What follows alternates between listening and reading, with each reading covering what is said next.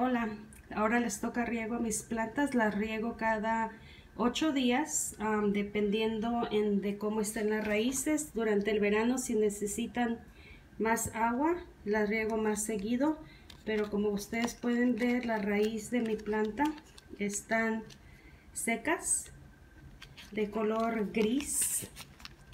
Ok, so les toca riego.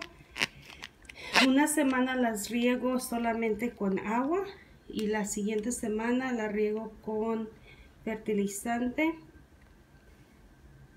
por sumersión. Ahorita la voy a sumergir en agua con fertilizante y las raíces se las voy a mostrar porque van a estar verdes después de ser regada la planta. Hola, les quiero mostrar el fertilizante que uso para mis orquídeas Phalaenopsis.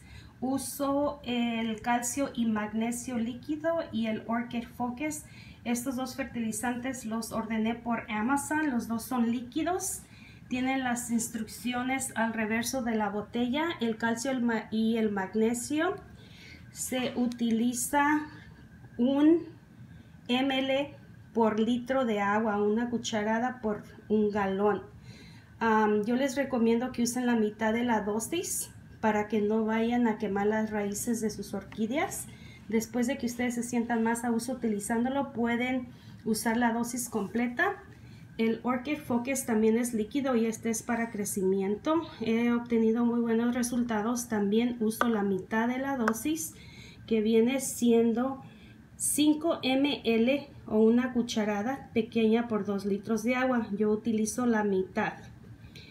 Y yo riego mis orquídeas cada 8 días en el verano una semana uso el fertilizante, la siguiente semana uso agua. Primero enjuago mis orquídeas con agua de la llave y luego uso agua destilada para regarlas. También uso agua destilada con estos fertilizantes porque el agua de mi casa de la llave tiene muchos minerales entonces no la utilizo y estos fertilizantes funcionan mejor con agua purificada o agua destilada. Ok, aquí les dejo los dos. Ahora les voy a mostrar la orquídea después de haber estado en agua por aproximadamente 5 minutos. Ustedes pueden ver que las raíces de arriba ya están verdes, ya no están de un color gris.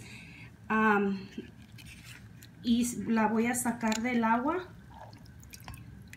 Y como ustedes pueden ver, la raíz está mojada, húmeda y ha obtenido un color verde, no gris.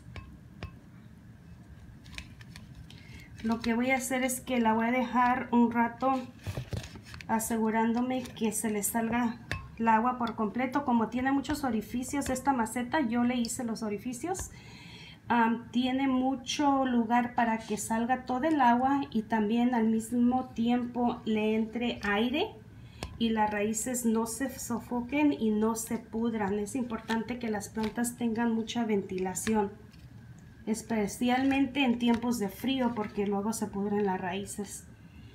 Bueno, pues gracias por acompañarme en mi video de cómo riego y fertilizo mis orquídeas solanopsis. Muchas gracias.